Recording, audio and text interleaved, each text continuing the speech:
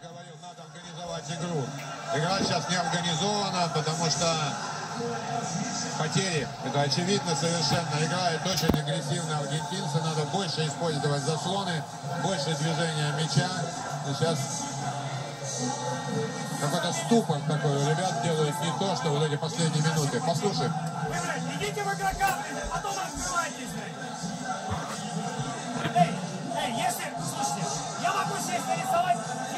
что? Все, что угодно. Но если мы не будем